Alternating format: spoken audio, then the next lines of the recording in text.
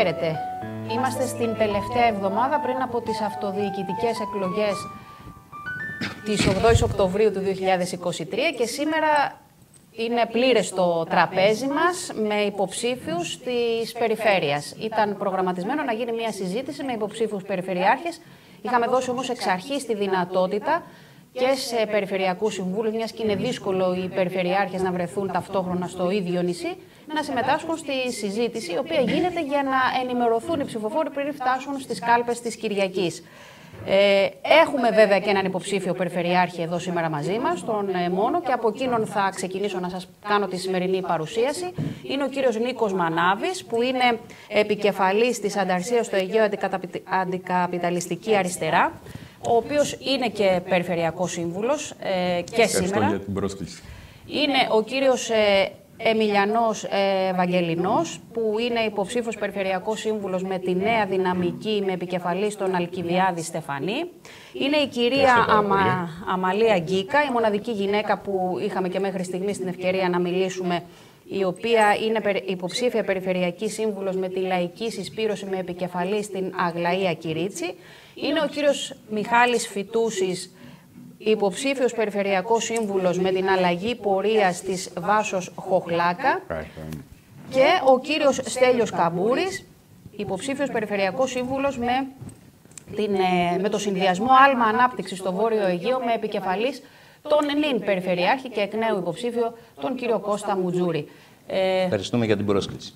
Όπως και ε, στους ε, δημάρχους, θα έχουμε μια σκίσαστε πολύ ε, χρόνο δύο λεπτών για τον καθένα να αναπτύξει τις ε, απόψεις του σε διάφορα θέματα που ε, θα συζητηθούν και θα κάνω αρχή με τον κύριο Μανάβη, θα το πάμε και κυκλικά, να μας πει καταρχάς την εμπειρία του από την θητεία που είχε τα προηγούμενα τέσσερα χρόνια στο Περιφερειακό Συμβούλιο και γιατί ο συνδυασμός ανταρσίας στο Αιγαίο θέλει να διεκδικήσει εκ νέου την είσοδό του σε αυτό.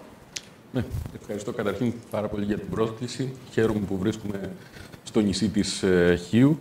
Ε, η εμπειρία του προηγούμενου Περιφερειακού Συμβουλίου ή του απερχόμενου ορθότερα Περιφερειακού Συμβουλίου, διότι έχει θητεία μέχρι το τέλος της τρέχουσας ε, χρονιάς, ήταν ε, μια εμπειρία που δεν θα έλεγα ότι ήταν ιδιαίτερα παραγωγική. Είχαμε ένα Περιφερειακό Συμβούλιο που αναλώθηκε κυρίως στο να προωθεί επιμέρους ζητήματα και χάθηκε η ευκαιρία το να ανοίξουμε ζητήματα και να δρομολογήσουμε επιλογές και λύσεις για τα μεγάλα ζητήματα που απασχολούν τα νησιά μας. Λέω, για παράδειγμα, ένα ζήτημα που συχνά δεν είναι κατανοητό. Στα νησιά του Βορείου Αιγαίου το κεντρικό πρόβλημα που θα έχουμε τα επόμενα χρόνια είναι το πρόβλημα του νερού και χρειαζόμαστε στρατηγικό σχεδιασμό για κάθε νησί, ο οποίος δεν υπάρχει. Επίσης, από τα νησιά του Βορείου Αιγαίου λείπουν πολύ μεγάλες χρηματοδοτήσεις και εμείς ως Περιφερειακή Παράταξη δώσαμε πολύ μεγάλο αγώνα ώστε οι υπόλοιπες παρατάξεις στο Περιφερειακό Συμβούλιο να μπουν στοιχειοδός σε μια λογική ότι δεν μπορούν να λένε ότι έχουμε πάρα πολλές χρηματοδοτήσεις. Έχουμε λίγες χρηματοδοτήσεις και αυτό αποδεικνύεται από τις ανάγκες μας. Ε, αυτά ήταν επιγραμματικά τα πολύ βασικά ζητήματα που είχαμε τα, την προηγούμενη τετραετία. Τώρα, στη νέα τετραετία που έχουμε μπροστά μας, η ανταρσία στο Αιγαίο θα είναι μαζί με τα λαϊκά κινήματα, τα κινήματα προστασίας του περιβάλλοντος και του δημοσίου χώρου, διότι έρχεται την επόμενη μέρα ένα μεγάλο επενδυτικό σχήμα που στην πραγματικότητα πρόκειται για μια επενδυτική επέλαση που θα γίνει στα νησιά του Βορείου Αιγαίου και στόχο έχει να, να κάνει τα νησιά μας κατζόχυρους με ανεμογεννήτριες ε, βιομηχανικού τύπου και άλλου βιομηχανικού τύπου ε, ανανεώσιμες πηγές ενέργειας. Παρότι δεν είμαστε αντίθετοι με τις ΑΠΕ, ε, θεωρούμε ότι τέτοιου τύπου επενδύσεις θα είναι καταστροφικές για τα νησιά μας και σταματώ εδώ είναι νέος στο χώρο της αυτοδιοίκησης. Έχετε ξαναχρηματίσει, αν δεν κάνω λάθος, περιφερειακός ε, σύμβουλος. Ε, γιατί αποφασίσατε να κατεβείτε και μάλιστα με τον συνδυασμό του Αλκιβιάδη Στεφανή, επειδή είναι αυτός που υποστηρίζεται επισήμως από τη Νέα Δημοκρατία; Λοιπόν, ευχαριστώ και εγώ με τη σειρά μου. Ε, δεν έχω ξαναχρηματίσει περιφερειακό σύμβουλος, έχω χρηματίσει νομαρχιακός σύμβουλος. Ε, την πρώτη, την πρώτη θητεία ναι.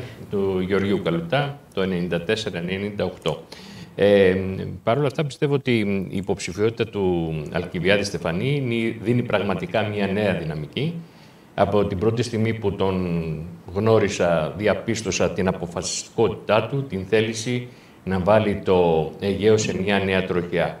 Μια νέα τροχιά ανάπτυξης, η οποία πραγματικά θα δώσει νέα πνοή στον τόπο μας. Ε, βλέποντας και την ε, απερχόμενη Περιφερειακή Αρχή και συγκρίνοντας την υπάρχουσα κατάσταση με τον νέο υποψήφιο Περιφερειάρχη, νομίζω ότι υπάρχουν μεγάλες διαφορές στο θέμα της διαχείρισης της διοίκησης της Περιφερειακής Αρχής, θα υπάρξουν τουλάχιστον, ε, και φυσικά με ενέπνευσε πάρα πολύ το όραμά του για τυχείο και ευρύτερα το Βόρειο Αιγαίο.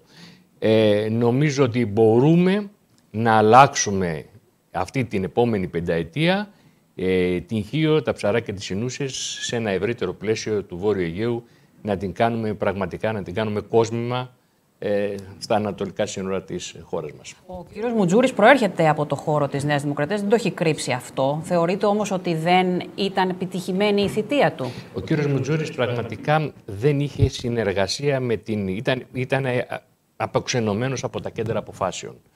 Αυτό είναι ένας βασικός παράγοντας, το οποίο δεν έδινε τη δυνατότητα ε, να ενισχύσει την περιφέρεια Βορειοαιγαίου και να έχουμε τα κατάλληλα κονδύλια όπως πρέπει και να προχωρήσουμε μπροστά στα έργα. Και δίνω το λόγο στον κύριο Μιχάλη Φιτούση, ο οποίος μένει σταθερός στον πολιτικό χώρο με τον οποίο ε, μέχρι σήμερα έχει πολιτευτεί και στα δημοτικά μας πράγματα, δηλαδή στο χώρο του Πασόκ Κινάλ. Έτσι δεν είναι κύριε Μιχάλη;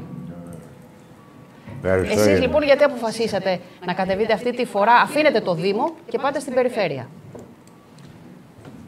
Ε, Καταρχήν ευχαριστώ για την πρόσκληση.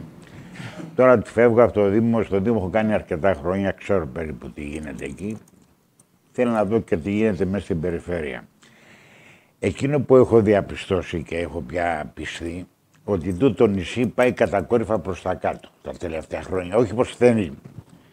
Φταίμε όλοι μαζί και οι ψηφοφόροι και οι ψηφοσυλλέχτες εμείς να πούμε. Δεν δικαιολογείται να περνάς τώρα μέσα στην απλοταριά ή μέσα στα... στις δρόμους και γύρω και να βλέπεις συνέχεια νοικιάζεται πολίτη, νοικιάζεται πολίτη. Αυτό κάτι, κάτι δεν πάει καλά για το νησί τούτο και αυτό εμένα με ανησυχεί πάρα πάρα πολύ. Δεν λέω ότι φταίω ένας τι αλλά φταίμε όλοι μαζί. Τώρα το γιατί δεν γίνεται κάτι θέλω να το διαπιστώσω με ιδίσο μας. Δηλαδή Όλοι βγαίνουν στο τέλος της ηθείας και λέει έκανα έργο, έκανα έργο, τόσα εκατομμύρια έφερα, τόσα έργα έκανα. Στο τέλος η τρύπα μένει τρύπα, μεγαλώνει αντί να μικραίνει. Αυτό εμένα, δεν, σαν νησί, δεν έχουμε λύσει κανένα πρόβλημα. Ούτε νερό, ούτε αεροδρόμιο, ούτε λιμάνι, ούτε τίποτα. Όλα τα νησιά έχουν αεροδρόμιο, όλα έχουν λιμάνι, προβλήτα, εμείς εδώ γυρίζουμε γύρω-γύρω και κάνουμε μόνο στο τέλος απολογισμό το πόσα εκατομμύρια φέραμε στο χείο. Άμα μετρήσεις πόσα έφερε ο Μουτζούρης, πόσα φέρανε προηγούμενοι, πόσα φέρανε οι δημοτικές αρχές, στο τέλος δεν θα ξέρεις που πήγαν τα λεφτά. Εδώ ε, αυτό το πράγμα σε τούτο το νησί δεν έρχονται. Αυτοί τον προπολογισμό το βάζουν το φέρανε. Δηλαδή κάνουν ένα έργο που έχει προπολογισμό τόσα εκατομμύρια και λέει τα φέραμε. Άσε να έρθουν. Και όταν έρθουν, κανένα έργο δεν τελειώνει. Πάρτε να δείτε ποιο έργο τελείωσε η επόμενη αρχή από την προηγούμενη. Δηλαδή, τέλειωσε ο χρόνος, ναι, θα, τα πω μετά. Συνέχεια. Ωραία. Να πάμε λοιπόν και στον κύριο Στέλιο Καμπούρη, ο οποίος ε, παρότι προέρχεται από τον ε, χώρο του Πασόκ, αυτή τη φορά ε, συνεχ... Ε, συνεργάστηκε καταρχάς, θα πρέπει να πούμε, και στην προηγούμενη θητεία με τον είναι περιφερειάρχη, τον κύριο Κώστα Μουτζούρη και συνεχίζει να είναι υποψήφιος περιφερειακός σύμβουλος και στην ε, τωρινή θητεία. Κύριε Καμπούρη. Κυρία Αναγνώστου, καταρχήν να ευχηθώ καλή πορεία προς την Κυριακή που είναι η πρώτη αυτοδιοικητική αναμέτρηση. Θέλω όμως να σας διαβεβαιώσω και δημόσια ότι στον χαρακτηρισμό σταθερός που απευθύνατε στον κύριο Φιτούση θα πρέπει να τον απευθύνετε και σε μένα. Και δηλώνω ότι παραμένω σταθερός διότι εγώ ακόμα και σήμερα τιμώ την υπογραφή που έβαλα ως συνδυασμός υποστηριζόμενος από το Πασόκ Κινάλ, κίνημα αλλαγής τότε, με ένα επίσημο πρακτικό το οποίο λέει ότι ο συνδυασμός μας συνεργάζεται με τον ανεξάρτητο συνδυασμό του κυρίου Μουτζούρη και αυτό το πρακτικό συνεργασίας υφίσταται μέχρι σήμερα.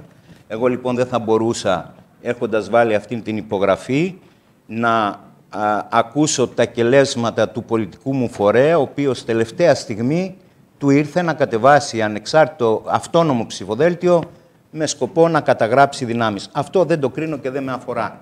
Ε, γιατί κατεβαίνω λοιπόν με τον Κώστα Μουτζούρη; Κυρία Αναγνώστου, θα σας πω το εξής. Είμαι θειασότης και ο παδός της λογικής που λέω ότι για να ξέρει κανείς που πάει, θα πρέπει πρώτον να γνωρίζει από πού ξεκίνησε και δεύτερον να θυμάται από πού πέρασε. Να θυμίσω λοιπόν ότι και αυτοδιοικητικά εγώ θυμάμαι, γνωρίζω από πού ξεκίνησα το 1994 ως Δημοτικός Σύμβουλος Καμποχώρων και θυμάμαι όλη μου τη διαδρομή. Δήμος Καμποχώρων, Νομαρχιακή Αυτοδιοίκηση Χίου, Δήμος Χίου, Περιφέρεια Βορείου Αιγαίου. Αυτό το πέρασμα λοιπόν με οδηγεί στο ασφαλέστατο συμπέρασμα ότι για να δω πού θα πάω αύριο, αυτό το αύριο για τυχείο και για το Βόρειο Αιγαίο περνάει μέσα από την υποψηφιότητα του Κώστα Μουτζούρη για συγκεκριμένους λόγους, τους οποίους φαντάζομαι θα έχουμε στη συνέχεια το χρόνο να αναλύσουμε. Για μένα λοιπόν και κλείνω με αυτό, ο Κώστας Μουτζούρης είναι ο Περιφερειάρχης, ο οποίος μπορεί να διασφαλίσει το πέρασμα από τις βάσεις που δημιουργήσαμε στην τετραετία που πέρασε, στις ε, νέες διαδρομές που ανοίγονται στη νέα πενταετία που έρχεται. Ωραία, θα ξαναδώσω το λόγο στην Αμαλία Γκίκα, όχι γιατί είναι η σειρά της, αλλά γιατί με ενημέρωσαν ότι είχαμε πριν ένα πρόβλημα στον ήχο και αυτά που είπε προλογικά η κυρία Γκίκα δεν ακούστηκαν. Οπότε θα ξαναρωτήσω γιατί ένας νέος άνθρωπος ε, θέλει να ασχοληθεί με τα κοινά και ειδικότερα με την περιφέρεια. Ξανά σας ευχαριστούμε για την πρόσκληση. Ε, κοιτάξτε να δείτε, το είπα και πριν, ε, η νεολαία, όπως έδειξε και στις βουλευτικές εκλογές, ε, βλέπει ότι πραγματικά πρέπει να βγει μπροστά και να διεκδικήσει να αλλάξει το μέλλον της, γιατί κάθε χρόνο και, κάθε χρόνο και χειρότερα πηγαίνει η κατάσταση και ειδικότερα στη νεολαία.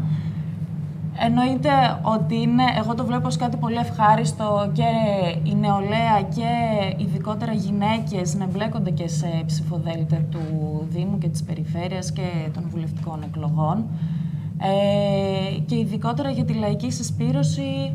Ε, η λαϊκή συσπήρωση είναι η μοναδική παράταξη ε, στις ε, τοπικές εκλογές που είναι 100% λαϊκή μαχητική αντιπολίτευση και το έχει αποδείξει και με τις ε, κινητοποίησεις που είχε κάνει ειδικότερα και για την νεολαία, για την κατάσταση που επικρατεί στο Πανεπιστήμιο, στη Λέσχη ε, και για τους, ε, οι θέσεις που έχει η λαϊκή συσπήρωση για την νεολαία, για τα, για τα σχολεία, ε, για τους χώρους πράσινου, για τους ελεύθερους χώρους άθλησης, πολιτισμού.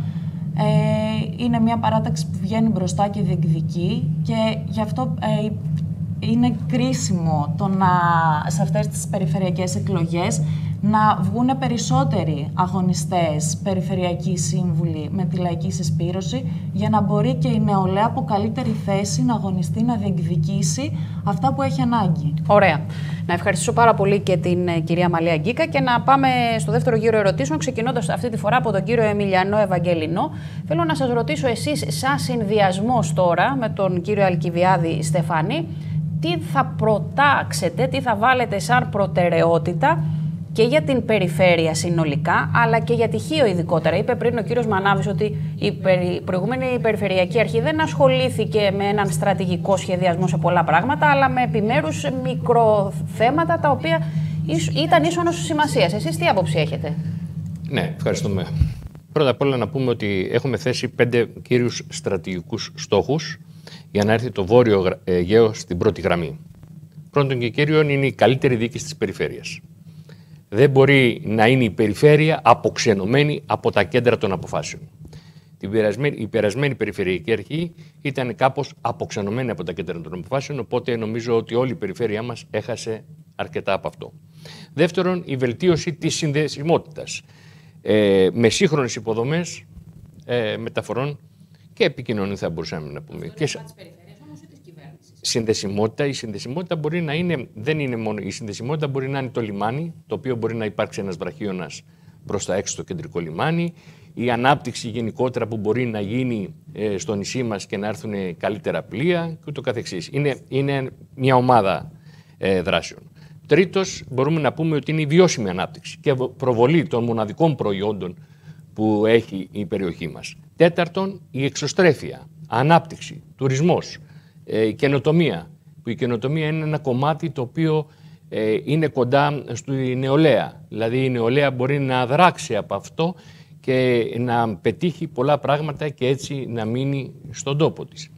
Ε, και τέλος, ο πέμπτος και κύριος πυλώνας, θα λέγαμε κύριος στόχος, είναι η θωράκιση της ασφάλειας και της ποιότητας στα νησιά μας. Και η θωράκιση της ασφάλειας μπορεί να έρχεται είτε από το πώς θα διαχειριστούμε το, μεταναστευτικό, το μεταναστευτικό, που είναι ένα μείζον θέμα, πώς θα διαχειριστούμε τα έργα διαχείρισης ε, απορριμμάτων, πώς θα κάνουμε την πολιτική προστασία, την κλιματική αλλαγή, κλιματική ασφάλεια θα έλεγα, που είναι ένα μείζον θέμα αυτή τη στιγμή και ούτω καθεξής. Τέλος πάντων πρέπει να, υπάρχουν, να έχουμε καλή και στενή συνεργασία με Δήμο και κεντρική κυβέρνηση. Μάλιστα. Κυρία Γκίκα, εσείς τι θα λέγατε για τις προτεραιότητες της δικής σας παράταξης στην περιφέρεια, τι θα προτάσατε; Οι προτεραιότητες της λαϊκής εισπήρωσης, όπως ε, ανέφερα και πριν, βάζει πάνω από όλα τις ανάγκες ε, του λαού του, του νησιού και όχι τα κέρδη των λίγων. Ε, και με αυτό το κριτήριο παλεύει και με αυτό το κριτήριο ε, είναι, τοποθετείται. Ήθελα να πιαστώ και από κάτι που άκουσα πριν για την εξωστρέφεια και πραγματικά εμένα μου κάνει και τεράστια εντύπωση το, το ερώτημα ότι αν πραγματικά η εξωστρέφεια είναι που διώχνουν την νεολαία από τα νησιά και επειδή είμαι κι εγώ δόπια εδώ και από το νησί, όταν έρχεται ένας νέος εδώ και για να σπουδάσει, αλλά και κάποιος ντόπιος για να μείνει, με την κατάσταση που επικρατεί ειδικότερα στα νησιά, βλέπουμε ας πούμε έρχονται φοιτητές και σήμερα μιλούσα με φοιτητές που άνοιξαν και τα πανεπιστήμια και μου λέγανε ότι πληρώνουν ενίκιο 300 και 400 ευρώ για μια γκαρσονιέρα, για ένα στούντιο. Με ποια δυνατότητα ένας φοιτητής σήμερα θα μπορέσει να έρθει να. Ναι, αλλά η περιφέρεια πώς μπορεί να παρέμβει σε τέτοιου είδους θέματα; Η περιφέρεια και ο, και ο Δήμος αντίστοιχα εννοείται ότι μπορεί να, να παρέμβει ε, διεκδικώντας αντίστοιχα και για την νεολαία, γιατί δεν είναι μόνο το ζήτημα το στεγαστικό, είναι και η κατάσταση που επικρατεί ε, και στον τουρισμό, στον εργασιακό χώρο, που οι περισσότεροι νέοι δουλεύουν και όχι μόνο το καλοκαίρι, αλλά και το χειμώνα για να καταφέρουν να συνεχίσουν να σπουδάζουν στο νησί. Ε, μπορεί να διεκδικήσει ε, να, να, για, να, για να μείνουν, να διεκδικήσει και να αγωνιστεί για να είναι καλύτερε οι συνθήκες, βιώσιμες συνθήκες.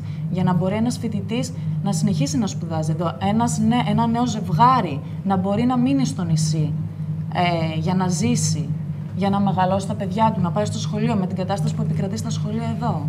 Οπότε δεν ξέρω κατά πόσο είναι η εξωστρέφεια που διώχνουν τελικά την νεολαία ή οι συνθήκες ζωής. Ωραία. Να πάμε και στον κύριο Μιχάλη Φιτούση. Ε, αλλαγή πορείας είναι εξάλλου ο τίτλος της ε, παράταξης, του συνδυασμού. Τι θα προτάξετε εσείς στην περιφέρεια και στοιχείο; Αυτό ακριβώς που λέμε. Αν δεν αλλάξουμε μυαλά, θα φύγουμε όλοι από εδώ. Δεν υπάρχει περίπτωση αυτό το νησί να κάνει ένα βήμα μπροστά. Ναι, θέλω να Θα σας πω συγκεκριμένα. Να ναι. παίρνω ένα-ένα. Λοιπόν, η Βόρειο Χίο δεν χρειάζεται πολλά πράγματα. Έχει, έχει εγκαταλειφθεί, έχουν μείνει 500 μόνιμοι κάτοικοι. Ζητάμε ένα δρόμο να παράκαμψει του Βροντάδου και του Έπους, να έχει μια ανθρώπινη πρόσβαση, να μπορεί να πηγαίνει κάποιος εκεί. Η Βόρειο Χίο θέλει αυτή την παράκαμψη.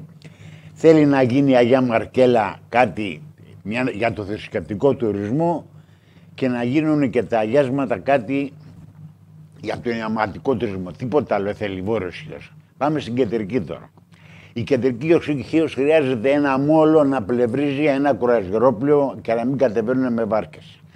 Αν κάνουν ένα, ένα μόλο, η χείος θα υπάρχει να ξεκινήσει τουλάχιστον τουριστικά μπροστά. Και θέλει και μια ανθρώπινη πρόσβαση με την Τουρκία. Πηγαίνει στην Τουρκία και λες είσαι στην Ευρώπη. Έρχεσαι εδώ και θα σου θυμίζει τον περασμένο αιώνα. Εκείνο που λείπει είναι τα καΐκια. εγκαταστάσεις θυμίζει η Ευρώπη. Ώστε- Όσον- Όσον αφορά τις εγκαταστάσεις μόνο. Τις οι τουρκικές. εγκαταστάσεις, Ναι, εγκαταστάσεις. γιατί α, προσωπικό δεν έχουν και Α, εκεί. οι εγκαταστάσεις εκεί είναι Ευρώπη, εδώ είναι η Τουρκία. Αν πάτε να πας να Έτσι. Λοιπόν, πρέπει να γίνει κάτι για να γίνουμε να φαινόμαστε Ευρώπη στο τέλος. Για την κεντρική χείρο δεν βλέπω άλλο πράγμα. Η κεντρική χείρο, αν κάνουν με ένα μούλα, θα πάρει μόνη της μπροστά και οι Τούρκοι θα μας σώσουν τελικά με τον τουρισμό. Αν περιμένουμε Ευρωπαίους, ξεχάστε τους αυτούς. Είναι για την άλλη γενιά, όχι τη δική μου. Έτσι.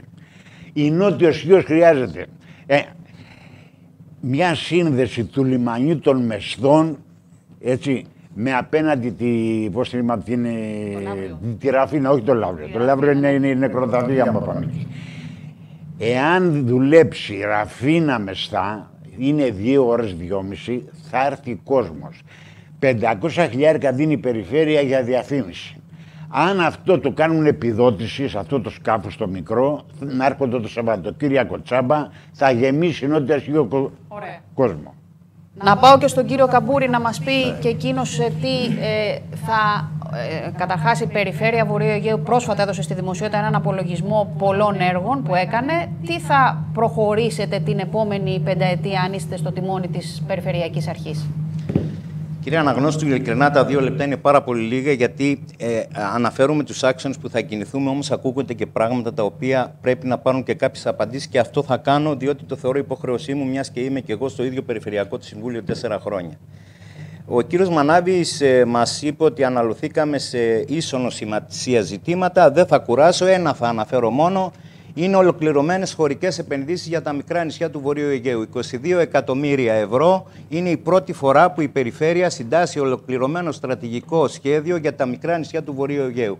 Ανάλογες κινήσεις έχουμε κάνει μέσω της διαχειριστικής αρχής για να προετοιμάσουμε το νέο ΕΣΠΑ, κάνοντας εκατοντάδες τηλεδιασκέψεις με παραγωγικούς φορείς και με τη λογική από κάτω προς τα πάνω να συντάξουμε το, το, το θέλω για το αύριο της επόμενης ε, προγραμματικής περίοδου 21-27.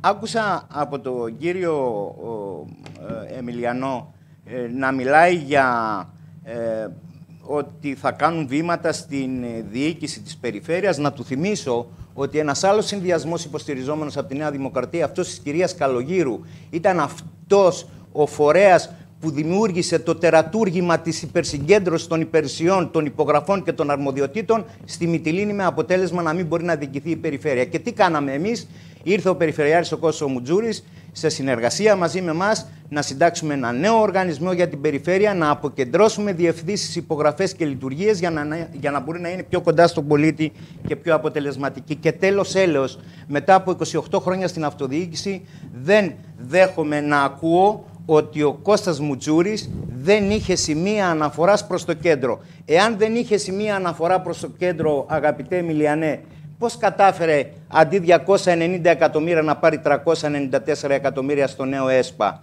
Πώς κατάφερε να πάρει τόσα κονδύλια για τη σεισμόπληκτη Σάμο από την κεντρική κυβέρνηση μέσα από μια συνεργασία; Και τέλος να θυμίσω και το εξής για να κλείσει αυτή η παράμετρος.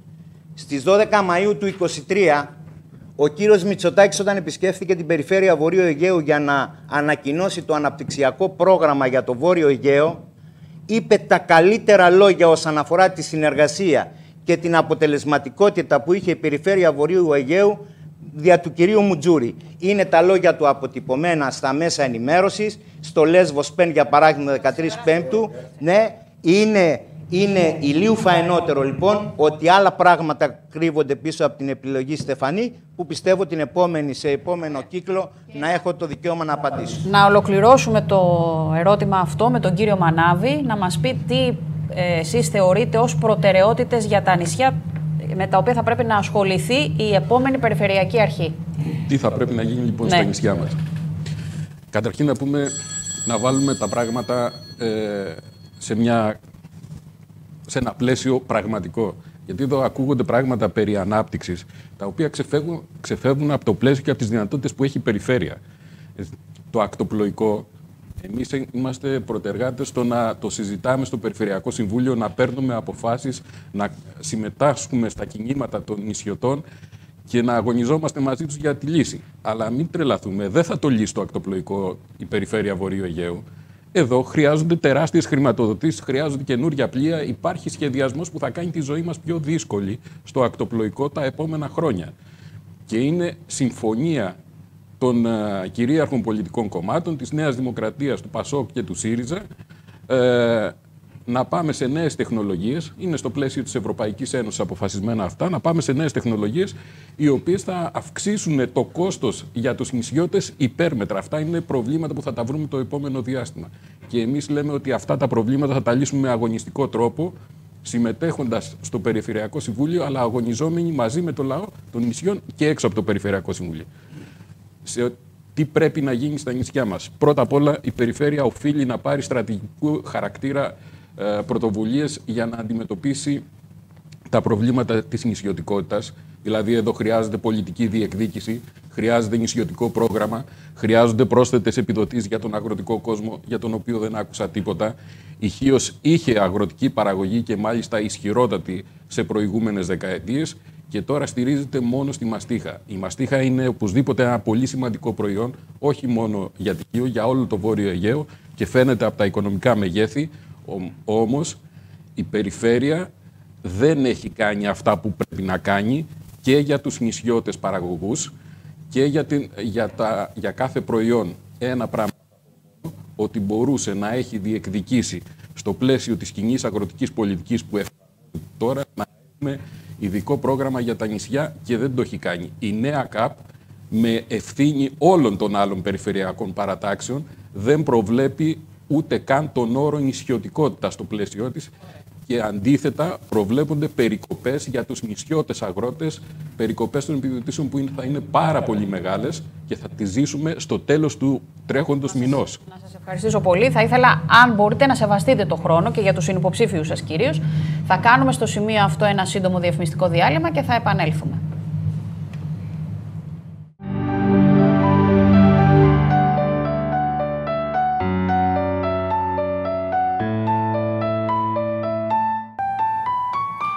Επιστροφή λοιπόν στην συζήτηση με υποψήφιους περιφερειάρχες και περιφερειακούς συμβούλους. Βασικά έναν υποψήφιο περιφερειάρχη έχουμε σήμερα μαζί μας, τον κύριο Νίκο Μανάβη από την Ανταρσία στο Αιγαίο.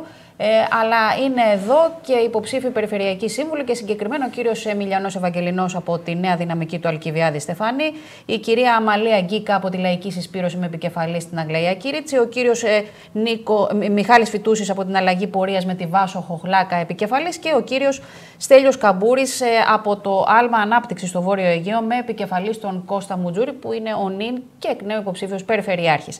Ε, θα ξεκινήσω τώρα από την κυρία Γκίκα και θα ήθελα να πάμε λίγο στο θέμα του περιβάλλοντος.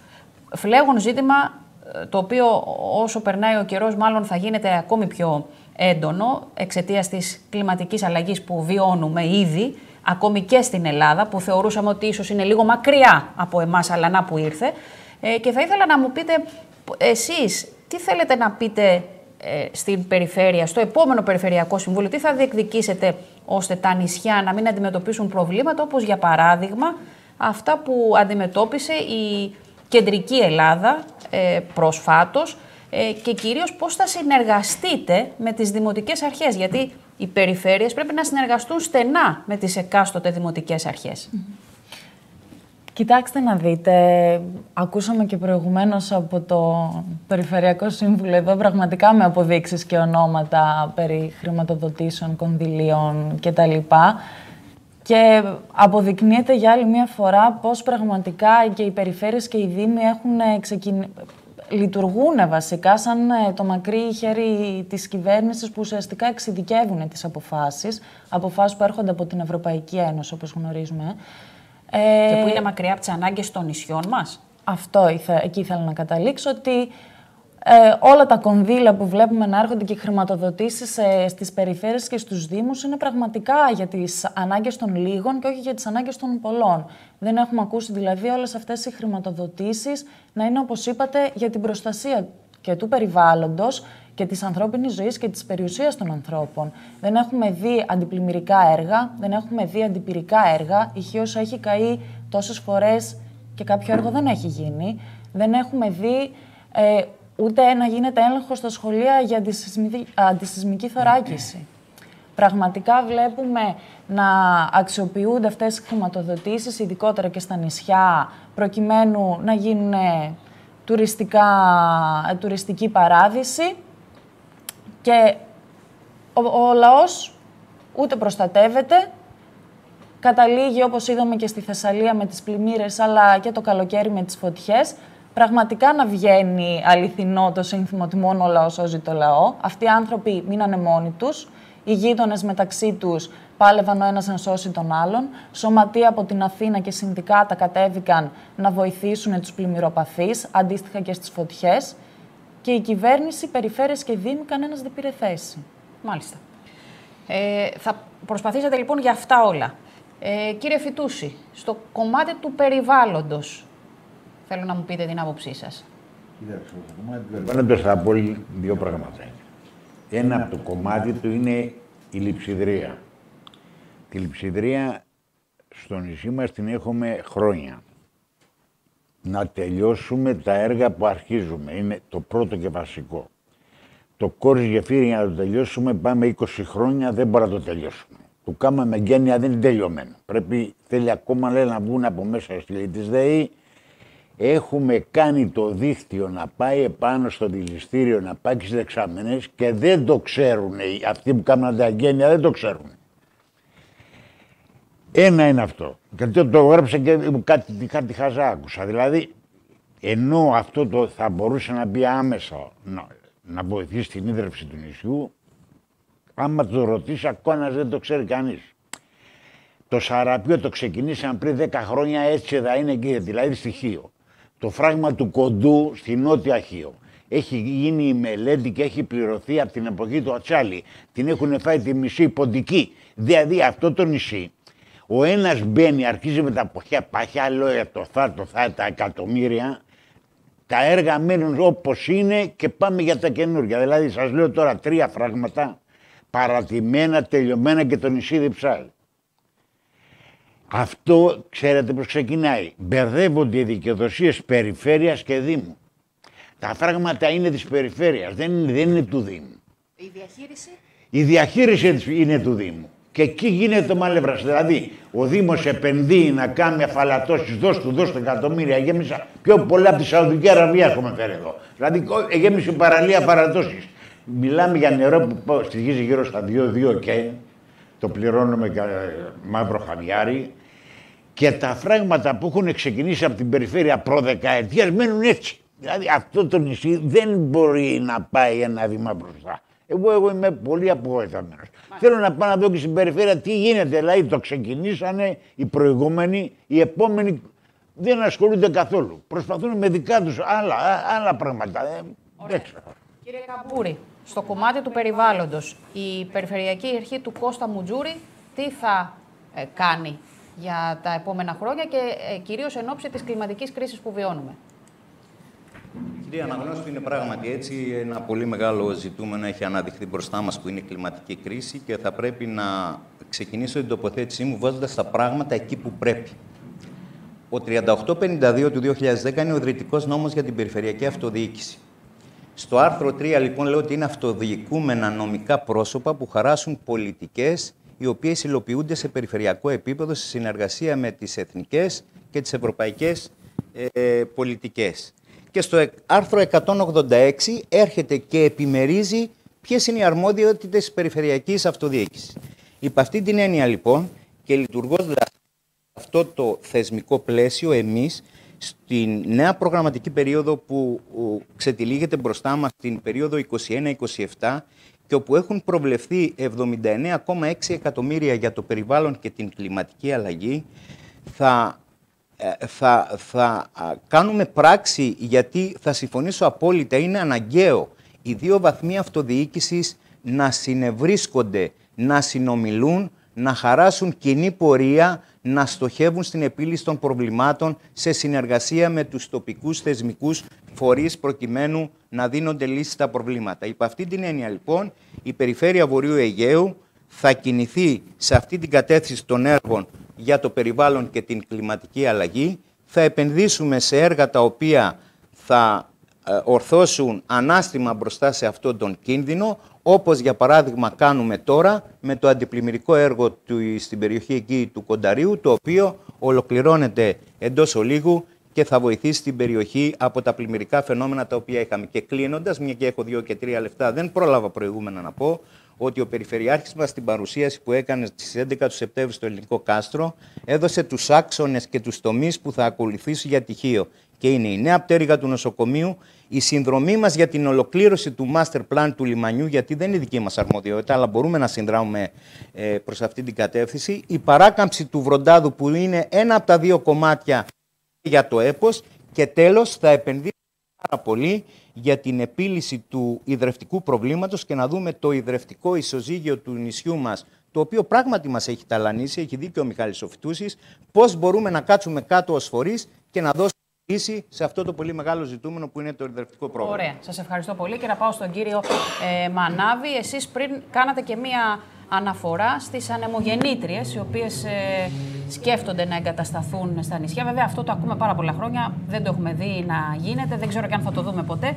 Ε, ίσως είναι πιο σημαντικό να διασυνδεθούν τα νησιά με τον υπηρετικό κορμό για να μπορέσουν να μπουν και ανανεώσιμες πηγές ενέργειας. Ταυτόχρονα θα γίνουν αυτά. Οι ανεμογεννήτριες ακολουθούν τη διασύνδεση. Η διασύνδεση των νησιών του Βορείου Αιγαίου με το υπηρετικό δίκτυο ξεκινάει το 2027 και ολοκληρώνεται το 2029. Η Λέσβος θα είναι τελευταία, το τελευταίο νησί που θα διασυνδεθεί. Ταυτοχρόνως, με το ξεκίνημα αυτής της διαδικασίας, ενεργοποιούνται και οι άδειες που είναι ήδη παραχωρημένες, οι οποίες θα κάνουν τα νησιά μας κατζόχυρους. Επιμένως σε αυτό. Θα είναι καταστροφικό για τα νησιά μας, διότι για να εγκατασταθούν αυτές οι ανεμογεννήτριες πρέπει να γίνουν διανοίξεις τεράστιων δρόμων, θα καταστρέψουν το φυσικό περιβάλλον των νησιών και αυτό έχει αποδειχθεί όπου έχουν εγκατασταθεί αυτές οι ανεμογεννήτριες, διότι δεν πρόκειται για παρεμβάσεις οι οποίες έχουν στόχο να καλύψουν τις ενεργειακές ανάγκες των νησιών, αλλά την, αλλά την κερδοφορία του μεγάλου κεφαλαίου, το οποίο έχει λάβει τις σχετικές άδειες από το 2013. Ε, Επειδή όμως αναφερόμαστε στα ζητήματα του περιβάλλοντος και της κλιματικής κρίσης. Πρέπει να πω ότι η ανταρσία στο Αιγαίο, μαζί με την παράταξη άλλων δρόμους που δεν κατεβαίνει σε αυτές τις εκλογές, ήταν η μοναδική παράταξη που καταψήφιζε σταθερά όλα τα τεχνικά προγράμματα που κατέβασε η Περιφερειακή Αρχή. Γιατί, όχι γιατί διαφωνούμε με επιμέρους έργα, αλλά γιατί τα, η φιλοσοφία των προγραμμάτων αυτών δεν απαντούσε στις ανάγκες των νησιών. Δεν έλυνε τα κέρια ζητήματα, δεν αντιμετώπισε ζητήματα που σχετίζονται με τις ε, πλημμύρες ή με άλλα φυσικά φαινόμενα.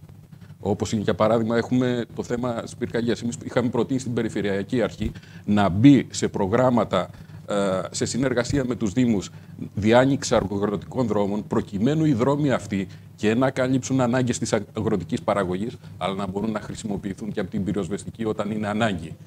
Και δεν το κάνανε αυτό. Και λυπάμαι που το λέω, αλλά ε, είχαμε μια στάση από τη λαϊκή συσπήρωση στο ζήτημα αυτό του Λευκό. Τι Λευκό; Πώς ψηφίσει Λευκό σε ένα τέτοιο ζήτημα, όταν είναι ζήτημα στρατηγικής. Δηλαδή, τα δύο βασικά ζητήματα που ψηφίζει κάθε Περιφερειακό Συμβούλιο είναι ο προπολογισμό και το τεχνικό πρόγραμμα. Τα οποία εκφράζουν και την πολιτική βούληση της κάθε Περιφερειακής Αρχής.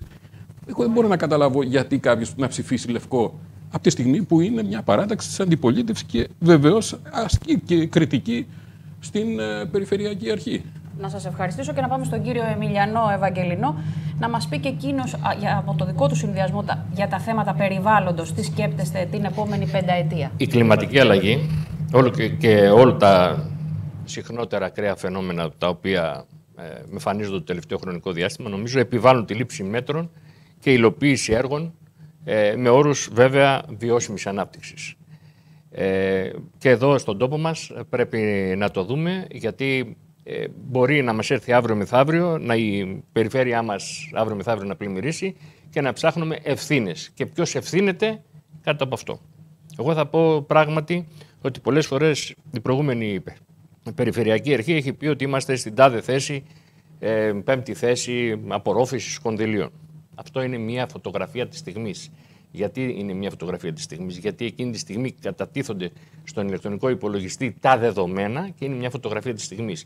Τη μια στιγμή μπορεί να είσαι στην Πέμπτη, την άλλη μπορεί να είσαι στην Έβδομη, την άλλη μπορεί να είσαι στην Τέταρτη και ούτω καθεξής. Το θέμα είναι ένα. Έχουν πιάσει τόπο τα λεφτά που έχουμε; Πάρει. Αυτός είναι ο βασικός ε, στόχος. Έχουν γίνει ε, θέματα αντιπλημμυρικά έργα για την Καλονή, για τα Καρδάμιλα, για το Μέγα Μιώνα. Μην τυχόν και πλημμυρίσουμε αύριο μεθαύριο. Να πω όμως το εξής. Ότι έχουν γίνει υπηρεσιακά σχέδια. Έχουν περάσει υπηρεσιακά σχέδια από το Περιφερειακό Συμβούλιο. Αλλά με τη μόνη διαφορά μετά δεν υλοποιούνται. Εκεί έχω την αίσθησή μου. Το Περιφερειακό Συμβούλιο έχει περάσει επιχειριακά σχέδια μέσω της της αρχής, περιφερειακής αρχής. Με τη μόνη διαφορά δεν υλοποιούνται μετά. Να πω ένα, ένα παράδειγμα, ας πούμε, χάρη. Έπρεπε άμεσα, όπως είπε και ο κύριος Φιτούσης, οι στήλοι της ΔΕΗ να έχουν βγει από τον Ιούλιο μέσα από το φράγμα τη Γεφύρι και να μπει τελικά αυτό το πόμα. Ε, ακόμα είμαστε τον Οκτώβριο και δεν έχει γίνει κάτι. Ε, καταλαβαίνετε ότι θα έχουμε θέμα. Ή το Σαραπιό, όπως είπε. Ή να πω, ε, αν δεν κάνω λάθος, νομίζω ότι είχαν υπογράψει η Περιφερειακή Αρχή, είχε υπογράψει μια σύμβαση με τη ΔΕΙΑΧ στο Θόλος για μια αφαλάτωση. την έκαναν. Την έκαναν. Αλλά ε, χρήμα δεν εκταμιεύτηκε στη ΔΕΙΑΧ. Δηλαδή, λέμε ναι, κάνουμε μια, μια σύμβαση, αλλά δεν δίνουμε και τίποτα. Και αφήνουμε τον άλλο να. Πρέπει να υπάρχει συνεργασία δηλαδή μεταξύ Δήμου και Περιφερειακής Αρχής. Ε, να πάμε σε ένα άλλο ζήτημα, για να ξεκινήσουμε με εσάς, κύριε Φιτούση, στο θέμα της ανάπτυξης. Τα νησιά γερνούν και η περιφέρεια Βορείου Αιγαίου έχει μεγάλο μέσο όρο ηλικίας. Τι πρέπει να γίνει ώστε να συγκρατηθεί ο πληθυσμός και να ανανεωθεί ταυτόχρονα; Στην αρχή ότι όλη η Βόρειος είναι 500 άτομα και είναι 20 χωριά και είναι 500 άτομα. Αυτό δεν σημαίνει, η Βόρειος είναι ε, η αιχμή, αλλά όλη η Χίος έχει αυτό το πρόβλημα. Σας είπα ότι όλη η παραλία, όλη η Χίος μέσα είναι γεμάτο ενοικιάζεται και πωλείται. Κάτι, κάτι έρχεται πολύ στραβό, πολύ κακό. Αυτό πρέπει να μας ξυπνήσει όλους. Εάν δεν υπήρχε ναυτιλία και μαστίχα, φοβάμαι ότι εδώ δεν θα υπήρχε κόσμο. Το νησί θα ήταν άδειο. Ο μοναδικός τουρίστας που έρχεται στη Χίο είναι οι Τούρκοι. Και βλέπετε ότι λιμάνι δεν έχουμε, αεροδρόμιο αρχίζει το αεροδρόμιο και παίρνει το δρόμο του Κόρης Γεφύρι. Δηλαδή, πώς κράτησε το Κόρης Γεφύρι 20 χρόνια, έτσι φαίνεται να ξεκινάει και το αεροδρόμιο, ακούω τις γκρίνες εκεί. Άρα ούτε αεροδρόμιο θα έχουμε, ούτε νερό, ούτε... Δεν έχουμε αεροδρόμιο, δεν έχουμε λιμάνι, δεν έχουμε νερό. Τι να κάνει εδώ ο κόσμος; Ο κόσμος εδώ θα φύγει τελικά. Το τι φταίει για να νεωθεί εγώ δεν ξέρω. Ο μόνος τρόπος που κάτι μπορεί να γίνει είναι να αναπτυχθεί λίγο ο τουρισμός και ο τουρισμός θα ανοίξει μόνο εξ Ανατολών. Θέμεται, δεν μας αρέσει η Τουρκία, μόνο από εκεί. Αυτοί έρχονται ένα ποσοστό της Τουρκίας που είναι 5-10% που είναι λεφτάδες, έρχονται εδώ, το παίζουν πλούσιοι και κινείται η προκυμία και κινούνται και λίγο τα νησιά.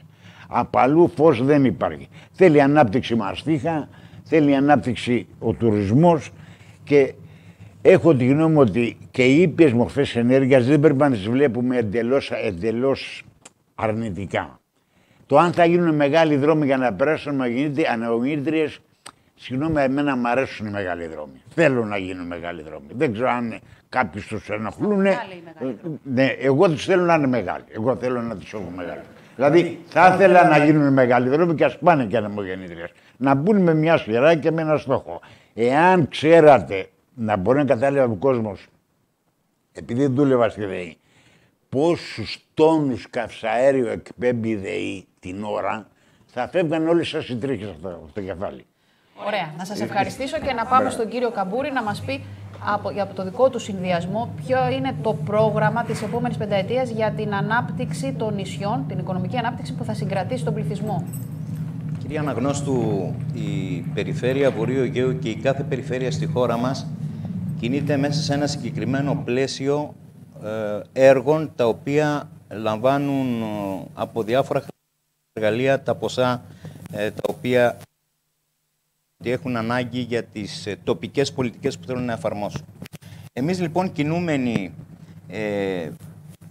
στο πλαίσιο του προγράμματος που έχει ξεκινήσει από το 2021 μέχρι το 2027 επιθυμούμε να οργανώσουμε ε, τόσο τα ποσά για την επιχειρηματική ανάπτυξη, το περιβάλλον που είπαμε περισσότερα, την προσβασιμότητα, τις κοινωνικές υποδομές, τη μετώπιση της φτώχειας, αλλά και με τις αστικές αναπλάσεις των Δήμων του Βορείου Αιγαίου, θεωρούμε ότι με την κατάλληλη αξιοποίηση αυτών των χρηματοδοτικών εργαλείων σε συνδυασμό με τις χρηματοδοτήσεις που έρχονται από το πρόγραμμα δημοσίων επενδύσεων και εφόσον αυτό τρέξει και δεν διακόπτεται από την κεντρική κυβέρνηση, νομίζω ότι μπορούμε να υλοποιήσουμε σειρά έργων τα οποία θα βοηθήσουν στην κατεύθυνση να συγκρατήσουμε τον πληθυσμό στα νησιά μας και να αρχίσουμε δειλά-δειλά να κοιτάμε και την αύξηση αυτού στα 10 νησιά του Βορείου Αιγαίου.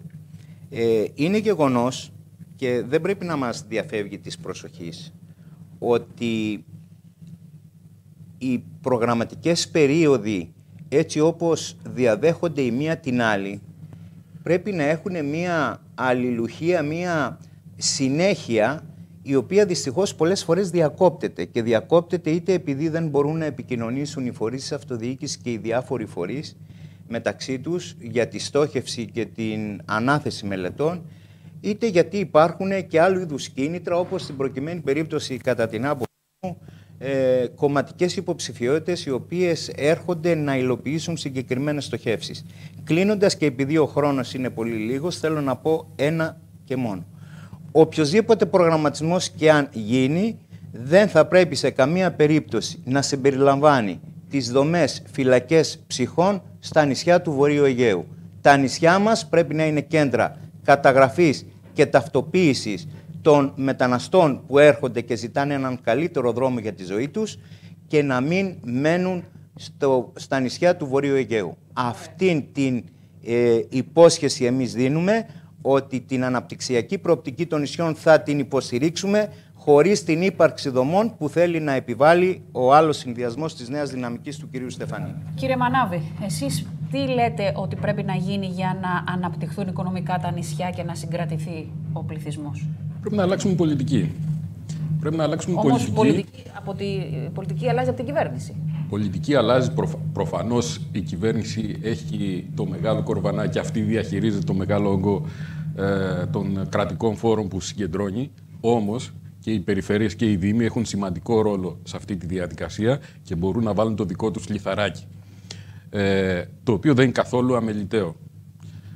Ε, για παράδειγμα, τα νησιά τα, του Βορείου Αιγαίου έχουν ένα τεράστιο πρόβλημα με την ακτοπλοεία.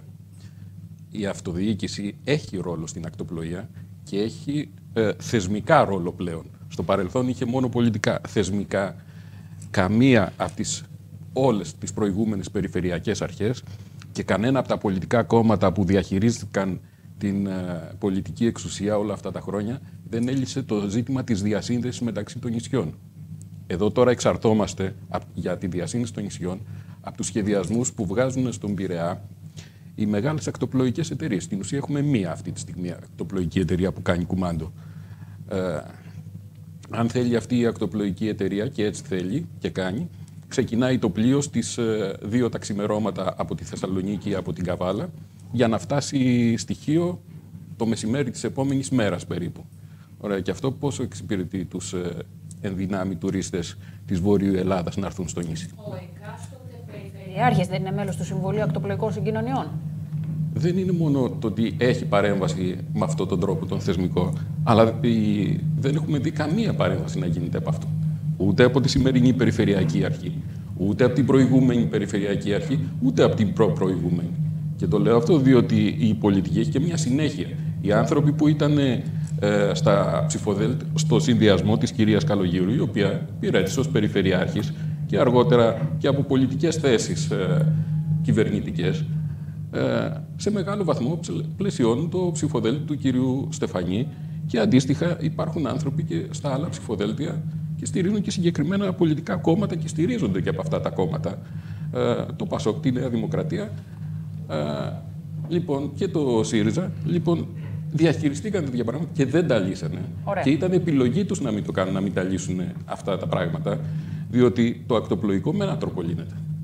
Δεν είμαστε Δανία να συνδέεται η Κοπενχάγη με το Όσλο. Είμαστε Βόρειο Αιγαίο. Και πρέπει να συνδέονται τα ψαρά οι Ινούσες με την πόλη της Χίου με σύγχρονα πλοία για τα οποία για να λυθεί αυτό το ζήτημα ένας τρόπος υπάρχει. Να φτιάξουμε δημόσιο ακτοπλοϊκό φορέα. Μάλιστα. Πάμε στον κύριο Μιλιανό Ευαγγελινό να μας πει και εκείνος την, ε, τις θέσεις του συνδυασμού για την οικονομική ανάπτυξη. Ε, Πρέπει κύριο να δώσω και κάποιες απαντήσεις. Γιατί... Είναι στον χρόνο σας, Ναι. ό,τι θέλετε. Ε, συγκεκριμένα αναφέρθηκε ότι είναι ο συνδυασμός του, η νέα δυναμική του Ελκυβιδά Στεφανή, η συνέχεια της κυρίας Καλογύρου. Πρώτον, κύριο, να πούμε ότι μόνο δύο, δύο πρόσωπα από το συνδυασμό της της κυρίας Καλογύρου συμμετέχουν στο συνδυασμό του Ελκυβιδά Στεφανή. Όλα τα υπόλοιπα πρόσωπα και στελέχη, τουλάχιστον που υπάρχουν ε, στοιχείο, για τυχείο πάντα μιλάω, στα αυτά 23, τα 21 είναι νέα πρόσωπα, ικανοί, επα- επιτυχημένοι επαγγελματίες στην αγορά και μ, νομίζω ότι έχουν δώσει τη- την καλή τους μαρτυρία. Τώρα, όσον αφορά, μ, επειδή τέθηκε κάποια στιγμή για το θέμα, ο κύριος Καμπούρης έθεσε για τις δομές και τα λοιπά, θα αναφερθώ ότι μάλλον ο κύριος Καμπούρης θέλει οι μετανάστες να βρίσκονται στην πλατεία της Χίου και στην Απλοταριά. Γι' αυτό το λόγο έχει βάλει τη διαδικασία. Αυτό κατάλαβα. Συγχωρείτε, δεν το Συγγνώμη, συγγνώμη στο, λό- στο χώρο σας και στο λόγο σας, δεν σας διέκοψα. Λοιπόν, αυτό έχω καταλάβει εγώ ότι εκείνοι που δεν θέλουν τη, τη μια κλειστή περιορισμένη δομή σε μέρος που να μην είναι κοντά σε αστικό ιστό και για περιορισμένο χρονικό διάστημα διαμονής, δεν μιλάμε για πάνω από δύο-τρεις μήνες, και μικρή σε χωρητικότητα, ε, όχι την υπερδομή όπως διαλαλούν και λένε, έτσι, όπως έχει ψηφιστεί αυτή, συγγνώμη, αυτό ήταν πριν έξι χρόνια. Άλλο το πριν έξι χρόνια, άλλο αυτό που έχει γίνει τώρα. Εμείς είμαστε με βάση ε, αυτό που έχει συμφωνήσει και το Δημοτικό Συμβούλιο. Μικρή δομή η οποία να είναι μακριά από ιστό, διαφορετικά, από οικιστικό ιστό. Διαφορετικά ή θέλουμε να αφήσουμε την δομή στη Βιάλ ή διαφορετικά θέλουμε να την αφήσουμε εντός του κέντρου.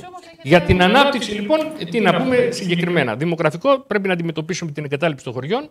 Αν υπάρχει ανάπτυξη, οι νέοι θα μείνουν πραγματικά εδώ. Στόχος μας είναι να προσεγγίσουμε με νέα, ε, να προσεγγίσουμε με παραδοσιακά εργαλεία των νησιών, αλλά με νέο τρόπο. Αυτός είναι ο βασικός και η Ευρώπη έχει την καινοτομία ως πρώτο της προτέρημα, οπότε πρέπει να βρούμε τα κατάλληλα προγράμματα για να αναπτύξουμε και εδώ στον τόπο μας. Κυρία Γκίκα, εσείς τι λέτε για την οικονομική ανάπτυξη των νησιών και το γεγονός ότι οι νέοι φεύγουν, το οποίο φαντάζομαι εσείς το ζείτε καλύτερα από τους άλλους, γιατί έχετε, θα έχετε πολλούς γνωστούς σας οι οποίοι έχουν εγκαταλείψει. Ακριβώς. Χίο, έτσι. Το έπιασα και λίγο στις προηγούμενες τοποθετήσεις μου. Σίγουρα, άμα η ίδια η νεολαία, ο ίδιος ο λαός δεν στηριχτεί, δεν μεριμνήσει η τοπική διοίκηση για την νεολαία και, το...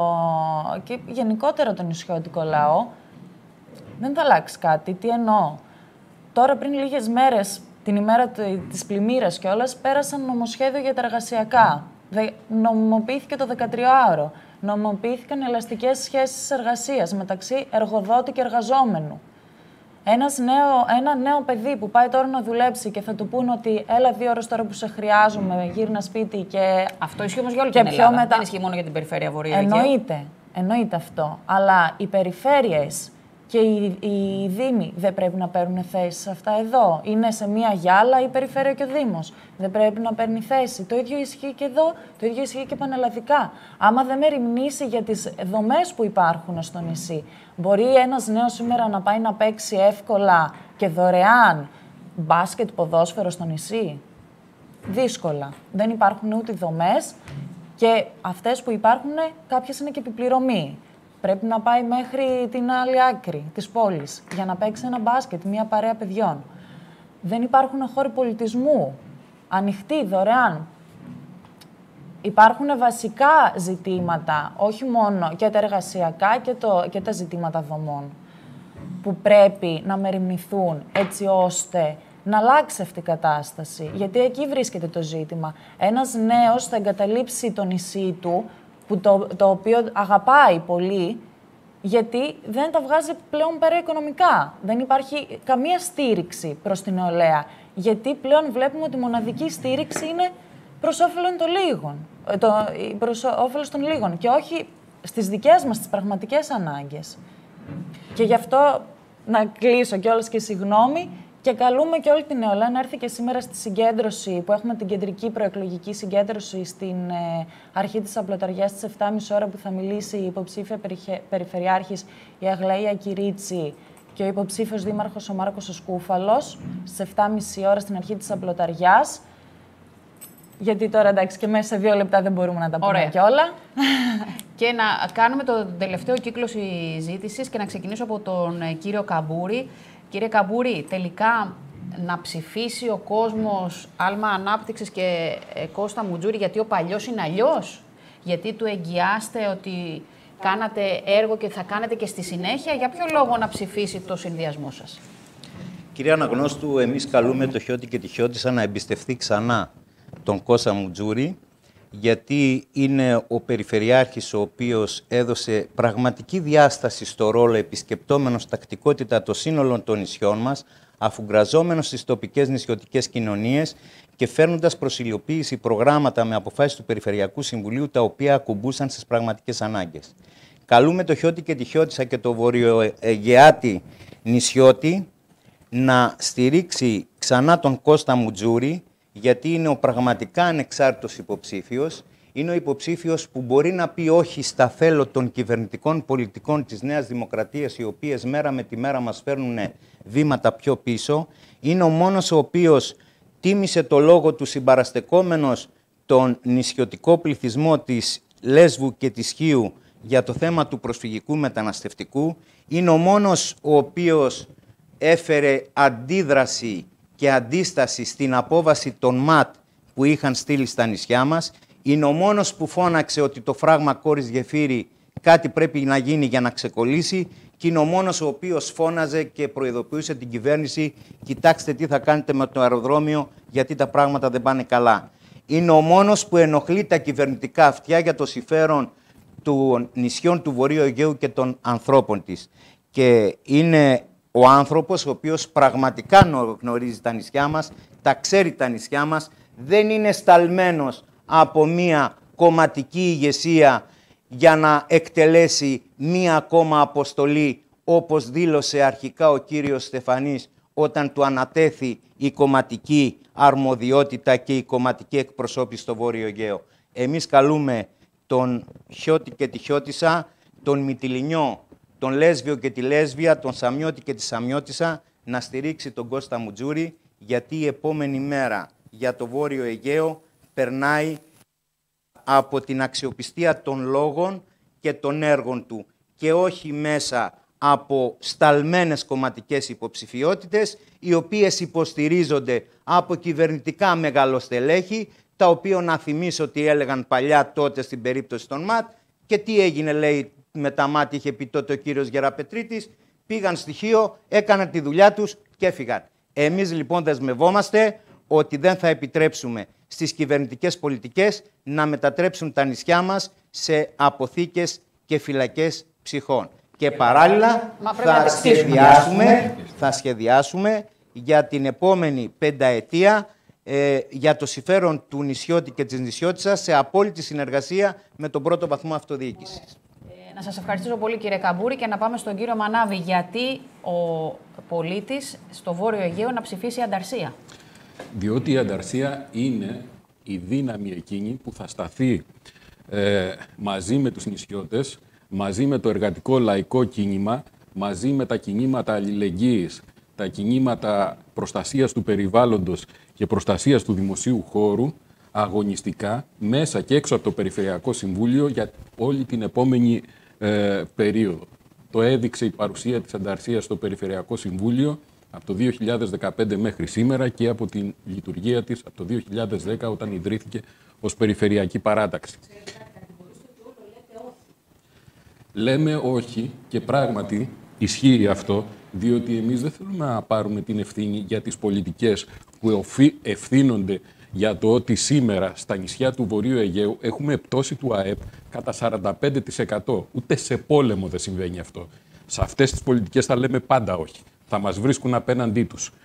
Ε, λοιπόν, και θα συνεχίσουμε να το κάνουμε και γι' αυτό μας επιλέγει ένα κομμάτι της κοινωνίας σημαντικό να μας στηρίζει και είμαι βέβαιος ότι και την επόμενη περίοδο που θα είμαστε στο Περιφερειακό Συμβούλιο ε, με καλύτερες θέσεις και καλύτερα οργανωμένοι, θα έχουμε όχι μόνο λόγω στο κίνημα αντίστασης των αντιδραστικών πολιτικών που φέρνουν στα νησιά μας, αλλά θα μπορέσουμε να επιβάλλουμε και λύσεις στα πολλά από τα προβλήματα που αντιμετωπίζουν οι νησιώτες. Αναφέρθηκα πριν στα θέματα της αγροτικής πολιτικής. Λέω ένα ζήτημα που θα το παλέψουμε και αφορά ιδιαίτερα τη Χίο. Τα Η Χίος είναι ένα από τα νησιά τα οποία παίρνουν τα ελάχιστα σε ό,τι αφορά τα προγράμματα νέων αγροτών, ε, σχέδια βελτίωσης κλπ.